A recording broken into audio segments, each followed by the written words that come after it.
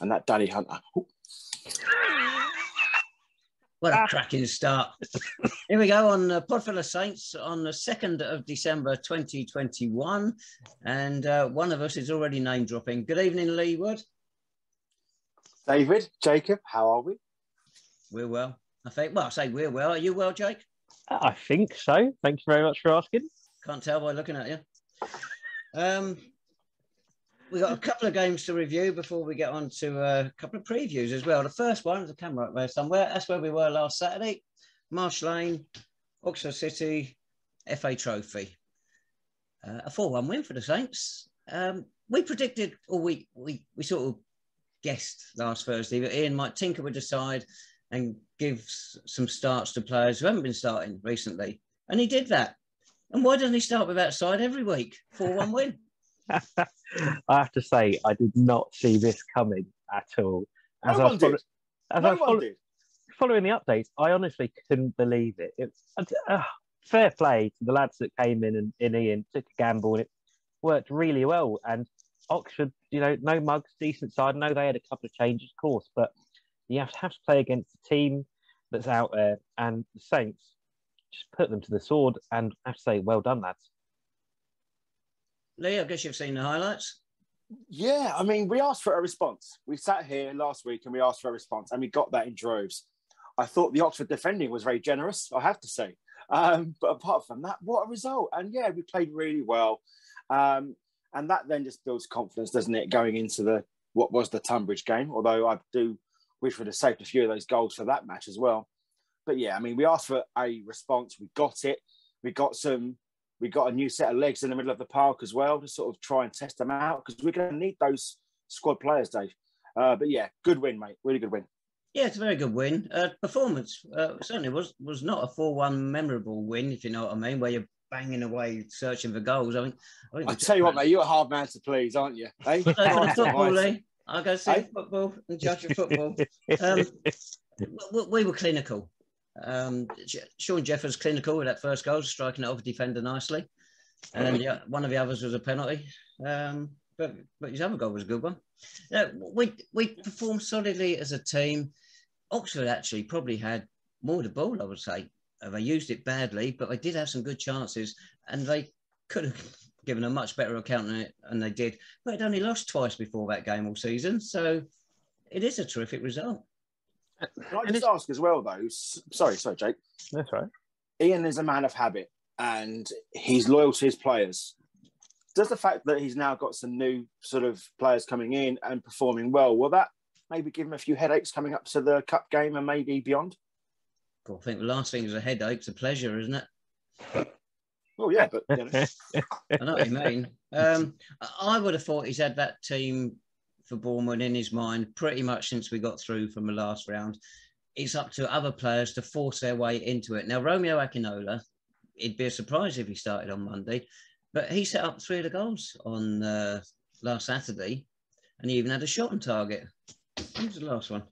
Um, so uh, it, that's what a player's got to do. They've got to go in and perform like that. And oh, your kids are still awake, Lee. Um, Eleanor doesn't agree. uh, and, and, and, one two others maybe didn't hit those highs, but it, it was a, a, solid team performance. One player who I thought did play well, didn't set any goals up, Michael Clark. It's just like he was last season.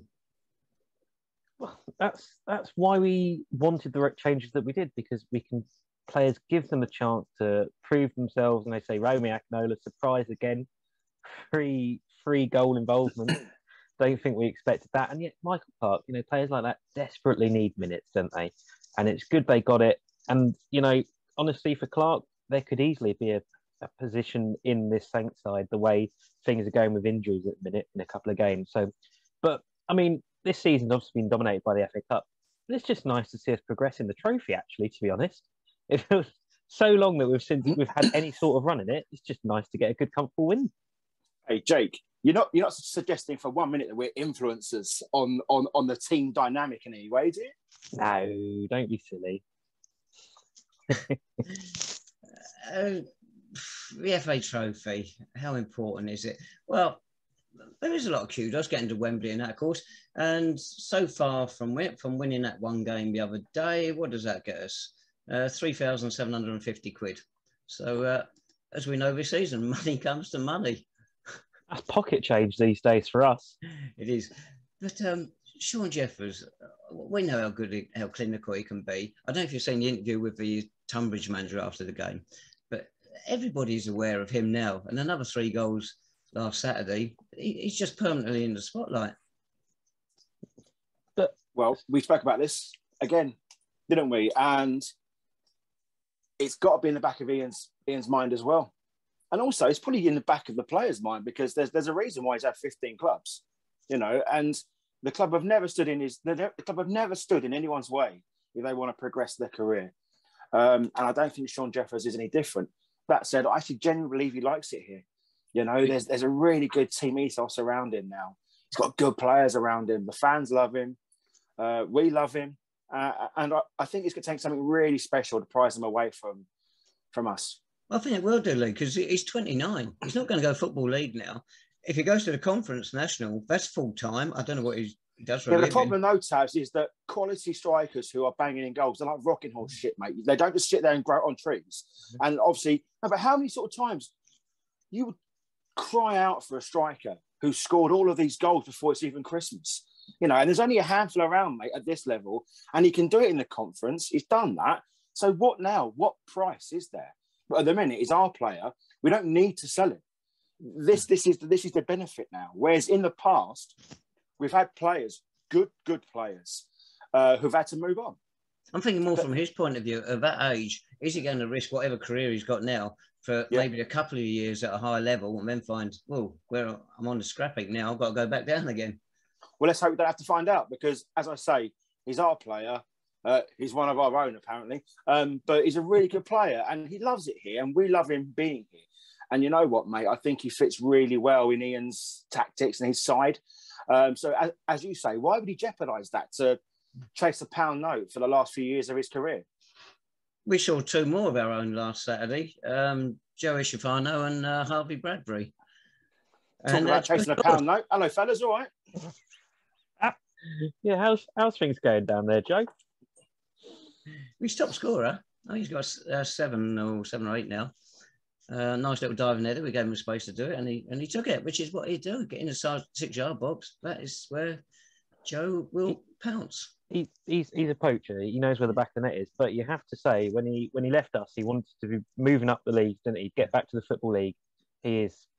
It seems, at least anyway, that time at Havant did him no good at all and he's plateauing at the minute. So hopefully he does kick on. It'd be great for him because he, he seemed like a lovely lad. But as you say, he's not really gone to the places he wants to. And it's probably the same for Harvey Bradbury, actually, isn't it? So tales. But it's of... not about them knowing anymore, uh, is it? More, no. you know, it's about no. it's about Shaun Jeffers and Goddard and Bender and Noble and all the players that we've got. Joe chose to leave these boys behind, so now we've got yeah. to concentrate on the players we have got, and we've got some fantastic players. We do indeed. There was another one of our own on the bench at Oxford on Saturday, uh, Elliot Benyon, who's now Who? now 34 years old, getting to the veteran stage. what a player, though. Right. What? Uh, what was the phrase you used earlier, Lee, to describe off air, describe Tuesday's match at Tonbridge Angels? I can't remember. What was it? It wasn't flattering. Anyway, was it not? We were. Okay. Tuesday, Tuesday, we were down in Kent. Tonbridge Angels nil, St Albans City nil. Um, it was dreadful. No two ways about it. Absolutely awful game. I've had um, I've had uh, better evenings. what time did you get home, Jake? About, about one a.m. So it was re- it was really worth the trip. Thanks, why thanks did, as always. Why did it take you so long to get back? What did well, you do? The tra- well, we caught the train back from Tonbridge, and then the train we were meant to get from London Bridge, the last one from there, got cancelled. So we had to walk from London Bridge to Blackfriars along the Thames. So why did you, you go, go in the in in the Dave Tavener van of love? What, what why did you get the, the free lift? Because that is that is cherished. That is that's you know that's saved for special occasions. I mean, to be yeah. fair, fellas, Tonbridge was was it was pretty bad going there once a season as it is, let alone twice. So yeah, Didn't talk it, me through it. Right, the game we needed to win really because we've got to stay on the snapping away at the other top sides there. That has got to be our priority this season. The FA Cup will look nice in the trophy cabinet, but the league's a priority. Um, we didn't deserve a point. Um, they had far the better chances. Ricky Modeste, he's still a wonderful player out on the right wing. He put two crosses in, and now they failed to take advantage of either of them, God knows. But one player really did emerge with credit, I thought, Tuesday, and I'm not going to pronounce his name right. Um, Coniah Boyce Clarke. I thought that was his best game for the club. He cut a couple of ones on ones, and uh, he, he bossed his six yard box. Uh, yeah, I, I do agree. I mean, first of all, yeah, Tonbridge were definitely better side. Although even then, like a few couple of moments they had, like two throw-ins a row straight out, hacking it out, couldn't pass at times. It was a dreadful game, as you say. Really, Tonbridge deserved the win probably, but did anyone really deserve the win on the evening? Mm. But I say goalkeeper really impressed. His distribution in the first 20 minutes, half hour was a little bit shaky, but after that, he grew into the game, made some good saves. I said, his ability to really come out and claim crosses really impressed me, actually. A couple of occasions did really well. And another man who takes credit uh, from that game for me, Callum Adebayo. He was missing against Hungerford. We discussed that, and he came back in against Tonbridge and I thought he didn't put anything wrong, and he is a rock at the back, and he has really grown, and I think he's part of the reason why we didn't actually lose in the end on Tuesday night. He was Ian's man of the match as well, quite understandably. Yeah, and that's it's amazing what happens, isn't it, when you stick with a, a, a centre back partnership that actually can play each other and have been doing pretty well with each other. So, you know, it was a clean sheet at least. Positives. It's only Romeo set those three goals up Saturday, so he obviously caught the eye with those things. And Tuesday back into his shell a bit, wasn't he? He was, but he wasn't the only one. It's not picking no. on him. Let's get this right. No, absolutely not. And I, again, doesn't didn't have to be Akinola, but I would have liked to have seen Ian take a bit of a gamble by bringing someone like Liam Soul on. I mean, he brought Bailey, Bailey Brown on. I don't know what minute, Dave. You probably have it there in your notes. And he he came on and he he was pretty much stuck up between midfield and centre forward at times, and it is all a bit just seemed a little bit desperate, really. Sort of just keep the ball up the pitch, get it away from our defence almost at times. So, yeah, it would have been nice to throw someone like Liam Soul on a bit more attacking, just let him go at the Tonbridge defence, as the attacking players really weren't sort of linking together at all. Take out the equation that the the Oxford game. Do you think Ian was now sort of looking at small mercies, just sort of trying to get a point back on the board in the league, considering the the, the sort of two defeats we've had today. I, think that's that's definitely possible, and I don't know if the players or what, but I don't know if some of the players are thinking about Monday night. To be honest with you, maybe. I mean, Down to.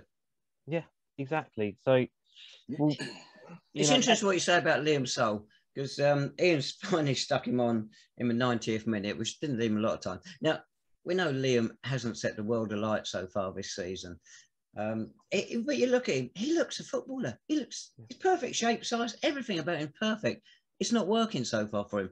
But what Ian wanted him to do when he came in at chance in the last minute, Jay, you, you remember it came in from the left wing, yeah. and maybe the angle was just too tight. Ian wanted him to smack it for goal, but he chipped it to the back post, and it was just too long for Dave Deju to get on. It was mind-boggling. Either go for goal or drill it in low. Why has he put it in the air on the back post?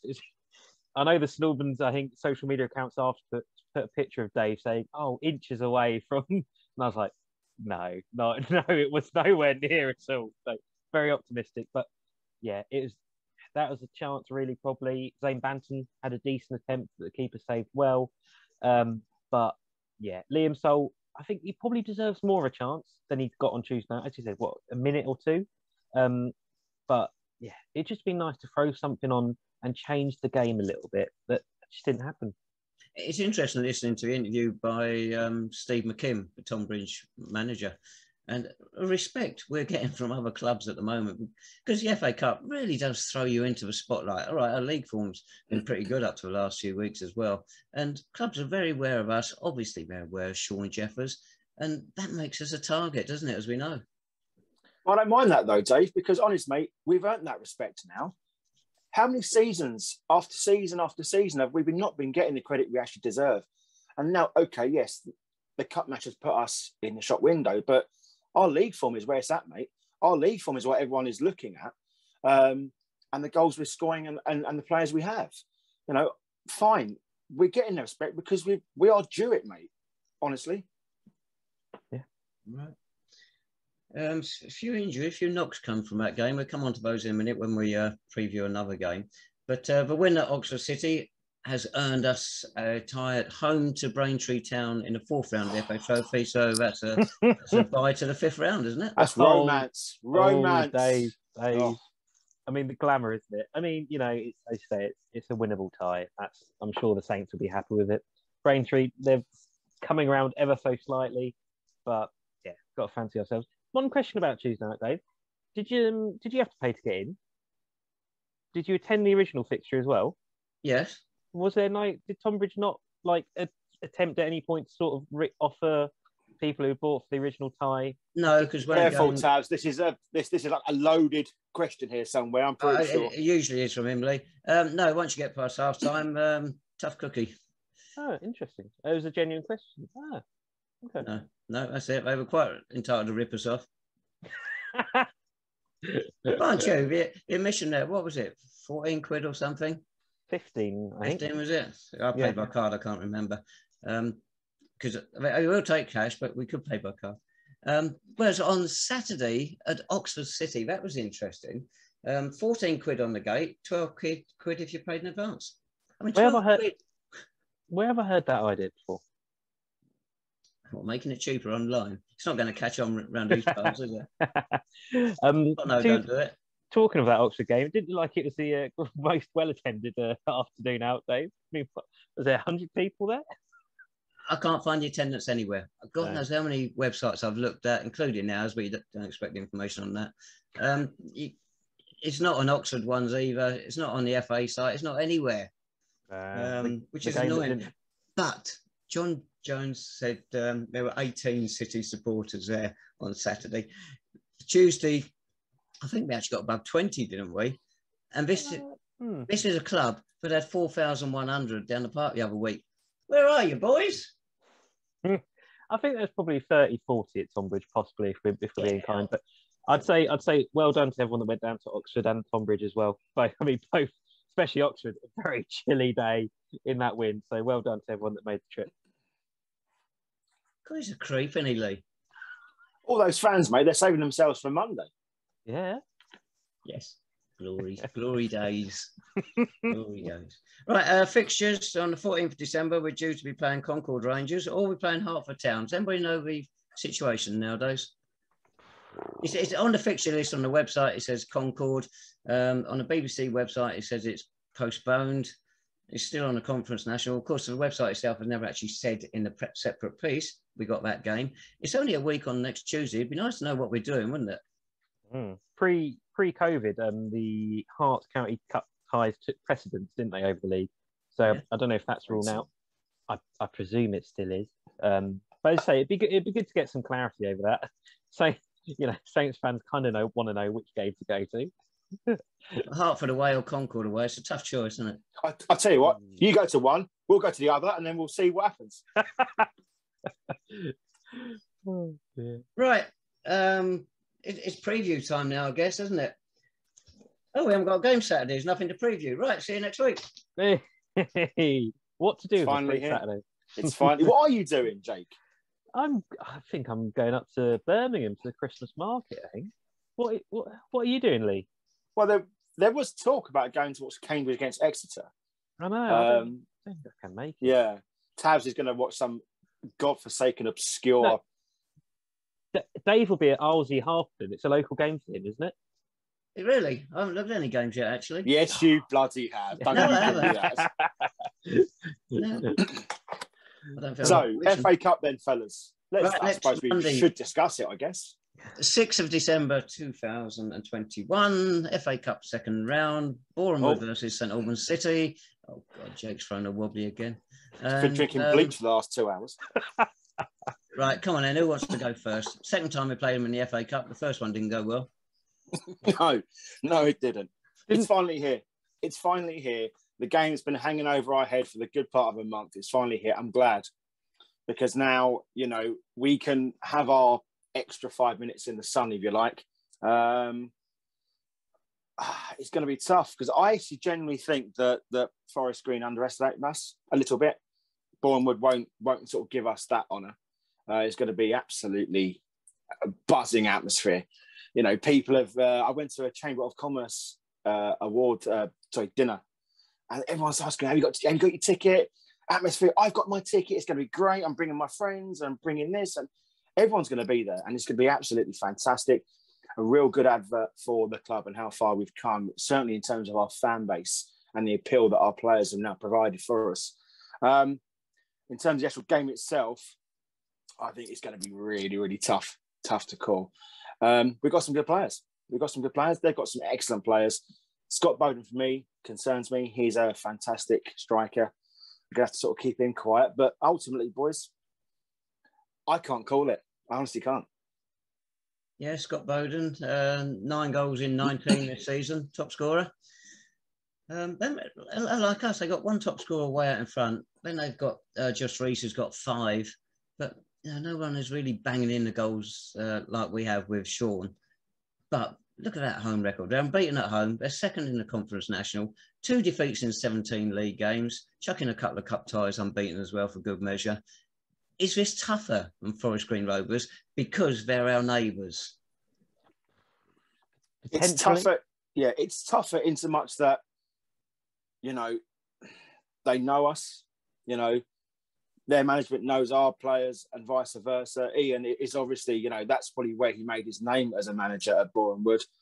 Um, no offense to Royston or Baldock, wherever he was. Um, I think we we have lost to them on a regular basis. You know, it, I think they've got our number, or they had our number. But this is this is a new day. It's a new dawn, and and it's it's a new opportunity for us now to really sort of kick on. And prove to people that Forest Green wasn't a one game wonder. Go on, Jake. Yeah, I was going to say, I mean, match wise, you know, you can look at their results this season. They grind them out. They they they don't score loads of goals, but they really do. Um, similar to us in, in some ways, um, and they are big, strong, smart side. I think they've got the the oldest squad age in the average age in the National League which is really saying something. I think it's 29 around that. Um, and they know all the tricks, everything that they're going to play games on Saturday, on Monday with us. But, you know, we've just got to go there and apply and just do our best. And I was watching the highlights of their defeat to Solihull Moors back in September. And there is a potential for a clanger there, slight mistake, especially if you run at them. They don't look most mobile at the back. A couple of names you recognise, especially Nathan Ashmore, goalkeeper we've come up against a few times. He's not played for quite a few weeks. No, and and a certain Mr. James Comley, who apparently they signed, much to the disgust of everyone on this podcast, seeing as we've been asking for the Saints to sign him for however long now. So, um, and it's worth mentioning, of course, they haven't played for going on almost two weeks by the time this game takes place, which would be interesting to see how they react, how they plan. I know Luke Garrard's been to most of our games. He was there on Tuesday night as well. Um, so we'll see. As Lee said, too tight to call. But when you've got over a thousand Saints fans invading Boreham Wood on a Monday night live on TV, imagine the noise from that away end. Anything can happen. Magic of the cup. One thing I will say is that when the draw was announced, everyone's saying, "Oh, you know, it, okay, it's not glamorous, but it's a winnable tie." You know, we beat Forest Green and they're top of the. That's not how it works, especially with Boreham Wood. Dave uh, and and Jake, we've been there too many times before, mate. We played them twice a year for sort of ten years, and it's that's not how it works. No. Um, I'm concerned about it because I think you know they know our players, whereas Forest Green was an unknown entity. You know, we were unknown to them really, but you know, weren't we? Boreham Wood players know ours inside out. Um, but that said, that said, you know, we've got to go there. It's 11 against 11, and we've got to give ourselves the best possible chance. I like way you picked on one game against Solihull Moors, goodness knows how many months ago, Jake, but they haven't repeated those frailties too often by the look of, looks of it. No, but then but then I'm sure that Boreham would have been going through all our match videos and looking for any frailties they could spot in ours. So, you know, and Luke Garrard, he was at the I think Dulwich game um, or Hunger, Hungerford, actually Dulwich, yeah, just hiding away in the corner by the York Road end, hiding away from all the Saints fans, didn't want to be spotted. So hopefully enjoyed himself. Hopefully enjoyed himself on Tuesday, and I'm sure we'll enjoy ourselves on Monday. Well, yeah, we enjoyed Dulwich one. We let him four uh, on Tuesday. Um, Ian afterwards, he said uh, probably the person who enjoyed the game mo- most would have been Luke Garrard, as um, not many people from St Albans did. Um, I don't know. it's a nice bit of psychology, maybe that. Um, what about our team? Ian's got problems. You got Tom Bender hasn't played for ages. He had that one game. Uh, Michael Clark has had a couple now, but obviously he's fully match fit. He's dubious. You've got Michael Johnson, who's looking doubtful, I guess, especially if I haven't found his towel. Uh, Johnny Goddard hasn't played in the last two. If he is carrying a knock, that is obviously a problem, and uh, it would appear that he is. And you've got three more players picked up slight, slight knocks on Tuesday as well. I mean, us three could end up on the bench. Well, we'll do a job, Tabs. We'll do a job, mate. Lee, Lee would be sent off within the first five minutes. I have no doubt about hey, that. Two and a half. Come on, give me some sort of credit. um, yeah, they definite selection issues. I mean, it's lucky we don't have a load of money sitting in our pockets to strengthen the squad with. Now, let's not talk about that. Um, but yeah, definite issues. But if you're Ian, I think we saw against Hungerford and Dulwich, um, changing the back line didn't help. I would go with the same back line if they're fit, if it's possible.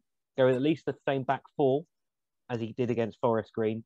I know they haven't been amazing lately, but you've got to stick with that. I think Michael Johnson tricky. I wouldn't be surprised if we risk him or rush him back.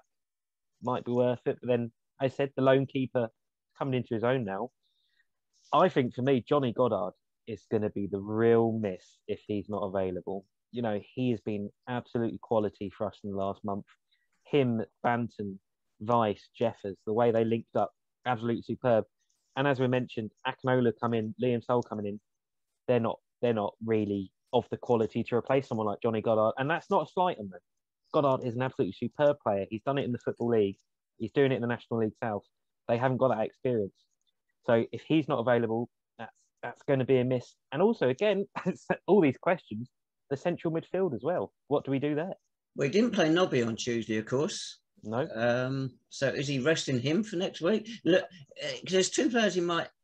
Michael Johnson, you might think, I've got I can have nine subs, which is practically half of St Albans. Um, so he got no problem in putting Boyce Clarke on the bench. And, and if Michael breaks down in five minutes or 55 minutes, you've got a decent keeper to come on. Nobby, again, he might look, can I get 45? Can I get 60 out of him and see what I've got to replace him with?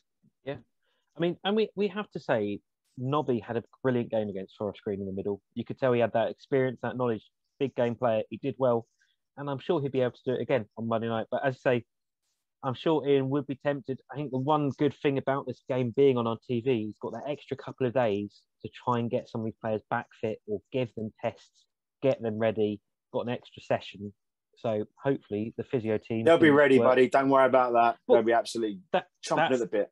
That's the thing. You know, it's a local derby, Monday night, live on TV, 1,400 Saints fans what more oh, motivation? Oh, you're getting me excited now, what, Jacob. Oh, what, come on. What more motivation do you need? Absolutely none. That adrenaline yeah. will sort of get you through half the game anyway, just by yeah. itself. Yeah. 1400. Didn't you buy any for the home end, Jake? Well, Boreham, Boreham Wood released a statement last week saying they gave us 1400, not 1200. So there you go. Plus, we'll have about 600 in the home end anyway, won't we? I hope not. be spicy. They're braver than me if they go in there, which isn't that hard. Um, the Woodside, they got uh, three players who survivors from the FA Cup time last time we met Mark Ricketts, Kane Smith, and David Stevens. And I think we've got three as well. We got Tom Bender, David Noble, two don't know a play, and the other one's Zane Banton. We assume he's going to start. And a certain Shaun Jeffers, who was on the other side. And didn't he win a dodgy penalty? he did win a dodgy penalty. Um, he dragged his foot into Tom Gardner's foot, which then went down. Some may perceive it that way, of course. That may not be true. He also set up the third goal and uh, scored the second one. Same again on Monday, please, Shaun. That'd be very well. No, wait, no, no, for the Saints. Oh, right. Oh, right. That's a good idea. Thank you. Yeah, good idea. But Was he one of ours then, or one of ours last time? Oh, who's who's is he? We've got those those young lads behind the goal. who's exactly? Bloody Delano with their with their cans of Fosters. Come on, fellas. Strong continental lager all the way. yeah. Don't pollute yourself with that rubbish. Uh, you, I mean, we mentioned it briefly. All these links between the two clubs adds that extra layer, doesn't it? Of course, the obvious one is Ian Allinson, and he's going to love it if he can give one over Danny Hunter. He'll love it. He'll absolutely love, love it. it. But you've got the factors of Shaun. He'll want to go back there and show what he could do. And James Comley, I'm sure, will want to come back to the prove it against the Saints. But it's made for comms, isn't it? It is, but I think it'd be a huge risk for them to start him because how long has it been since he played? Well, a game. Well, it's interesting because they signed him before the Grimsby game last week, and that got called off because of a storm damage for stand roof at Grimsby. I thought we damaged it when we went there. Um, so they, the best they do, I think, is stick him on the bench. Yeah. Uh, then because they haven't had a chance to look at him basically in no. probably ninety minutes this season. Mind no. you, everyone knows what he can do. Yeah. But and to be fair, Luke Garrard has been very busy taking the FA Cup to Tesco this week, so he's not had much time to do much else really. So other supermarkets are available. Jacob, come on, you know this is a former Waitrose employee. other FA Cups as well, Lee. They wouldn't risk a real one. Is that a slight on Tesco, Boreham Wood, or anyone else, Dave? Just the general public in Britain, really, Jake. Ah, okay it's probably a slight on Luke Garrard, to be fair to you. it's going to melt it down for parts or something, anyway. oh, they were they were still flogging tickets in the home end, weren't they, at Tesco on the yesterday? Of course so... they were. They got you ain't got no fans. You ain't got no fans. You got no fans. in a way, you got to feel sorry for them because what they've done over the last Why? 20 years, when, whatever anybody thinks of Danny Hunter, the job he's done to that club is phenomenal the way he's built it up off the park and what they've achieved on the park. I mean, if they hadn't blown it two or three years ago, they'd be in the Football League now. They're probably back down by now, but uh, they, they, would have gone into the Football League. It, it's phenomenal what they have achieved, and yet they don't get the recogni- recognition from the people of the town. Sad. It, yeah, sad, but not too sad about it. I'm going to be honest. As you say, he's done a brilliant there, and I'm sure that our owners would love to replicate that. But you have to say, when you have a club like Arsenal that closely linked with your club, it's amazing the things that can happen and the improvements that come. So there you go. We have, we've had Watford. What, what we got out of that over the last couple of years? Watford? Kings Langley haven't done too badly. well, that, that, that's true, actually. Yes, they've actually had some decent improvements there. now, I've known you for a number of years, Dave, and that's probably the kindest thing you've ever said about Danny Hunter in your entire life, mate. No, yeah. I would um, always he's done for the club, Lee. Always have done. Yeah. Um, there you go. You can't. Well, Ars- Arsenal gave them the pitch and one stand. The college gave them the others other stand. So you know, it's anyone could do that, mate. It's great. Does, does that mean Oakland's are going to give us a stand? Yeah, exactly. I suppose one, one fact we should also mention as well is the draw is before the game. Unlike the Monday cut Monday night game in the first round, which was afterwards, so, and when it's the third round as well, we'll, we'll soon find out who we've got. So, I'm sure the players won't want to know. I think Ian mentioned that in an interview with um, Neil, the Herts Ad, that he doesn't want the players to find out, but I'm sure they will. Um, they'll know. But, they'll know. Yeah, they'll know. In 1924 25, had we oh, gone God. through, we'd have played Newcastle United, the cup holders. Uh, 68 69, if we'd gone through, we'd have played Tottenham Hotspur, won it three times in the previous six years. Uh, and then in 1980, if we'd gone through, we'd have played Barnsley.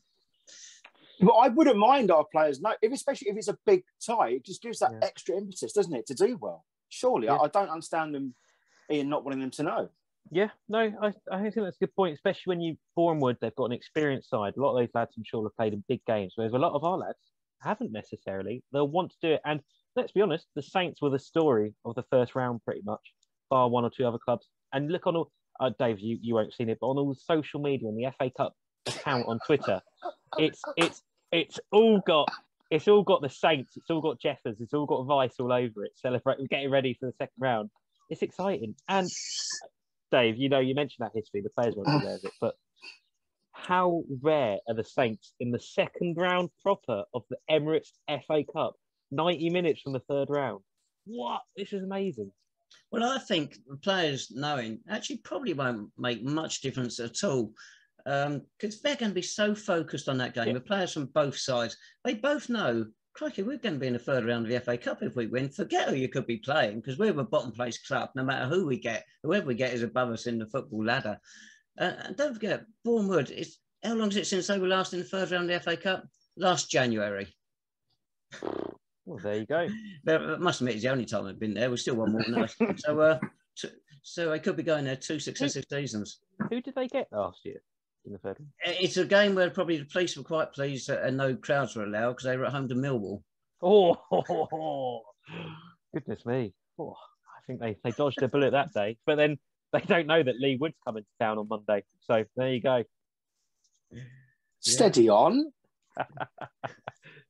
Blimey. What, what I would say though is that all the fans that are going, that are fortunate enough to get a ticket, enjoy yourselves enjoy yourselves because you know trust me as a fan of 30 odd years dave of 130 odd years um you know, these opportunities don't come around too often so go enjoy it sing your hearts out and uh make sure you come home and your voice is just as hoarse as anything so yeah. just give the lads all the possible support you can well, it's, it's your second time in the second round i guess lee. It's my third time. Jake's a virgin in the second round i guess. I, I was thinking about this earlier.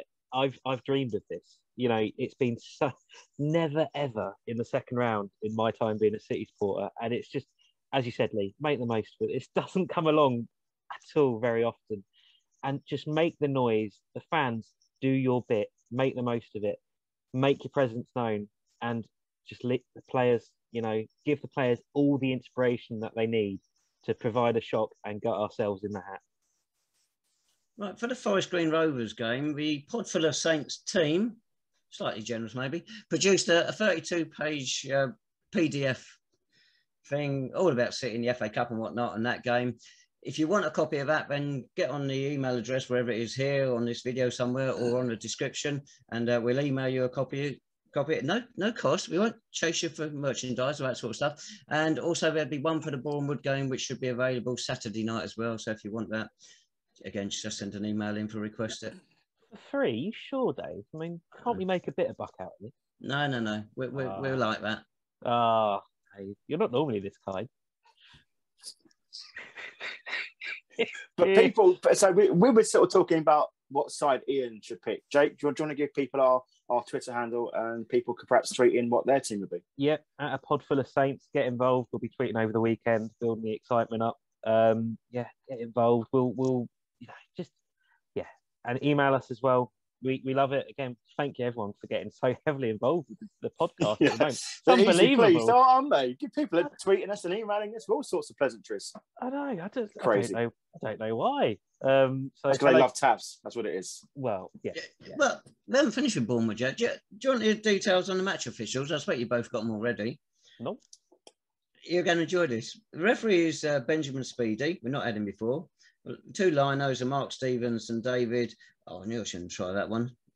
Trulieven or something like that. Anyway, it's always similar to mine. Um, the fourth official. This will raise a smile. David Rock. oh, Who was referee last time we played Boreham Wood in the FA Cup? Oh, I thought you were going to say Steve Trulock at one point in that. No, he wants somebody who gets out of centre circle. Goodness sake. Can't we have JJ O'Donnell's brother as full official? He's he's much better. Well, I don't know, mate. I don't know. True. but for those of you who don't know, David Rock was referee for the game last time we had Boreham Wood in the Cup. Ian was not impressed with him. Um, apparently, I don't think, like a few, few understatement. I, I don't think anyone was particularly impressed with him that day in the ground a goal, clear foul on Bender for one of the goals as well. And all the big decisions did seem to go against us. So it's rather pleasing to see him at fourth official, not first official. So we've got to hope the referee doesn't get injured yes. at any point, really. So please don't get injured. oh, dearie me. Right, oh, okay. Oh, God, okay. God. Um, I, and yeah, all those new Saints fans enjoy Boreham It's quite a place. I mean, be nice when it's finished. Yeah. I mean, I wouldn't anyone drinking before the game. I wouldn't suggest doing it in Boreham Wood. Maybe stay to St Albans. Like, don't don't go there unless you have to. And I know I know Dave's bringing his riot shield with him just in case. It's just going to be a great occasion. Just hope everybody enjoys it on both sides, and let's hope we see a great game. Yeah, and hopefully everyone behaves as well. God, Yes, who's Jacob. talking. Yeah, How dare you? Do we have to do predictions for this game? 'Cause I don't know if might we can. well. Go on then. this is going well. Yeah. Uh, What do you think, Tabs? Come on, you're always putting us on the on the spot, mate. I've got too much respect for this blooming Woodside, I'm afraid. I think it could be a bridge too far for us. Uh, but I'd have to be proved wrong. Yeah. Because I tell you, for my worst footballing day of my life was in 1971 against this lot. So it would be nice to finally get payback for that game. We did it. We got payback against Forest Green Rovers. So come on, let's do it against Boreham Wood now. That's that's a great point. It's the season for it. I'm gonna fine. That's giving me optimism. I'm gonna go two one Saints. Well, my reverse psychology worked last time, so against Oxford. So I'm going to say we lose 3 0. Ooh, love that. Mm, On that might- note, yeah, on- Leave them laughing, Lee. yeah. I mean, hey, that's my motto, fella. Don't worry about that. um, yeah. Again, thanks everyone to watch. I, I mean, I want to say good luck to the lads and Ian on Monday. Massive game, Common Boys. We can do it. And yeah, thank you for everyone getting involved. And we will see you um, next time. Thanks so much, everyone. Enjoy it, everyone. Take care. Bye bye, everyone.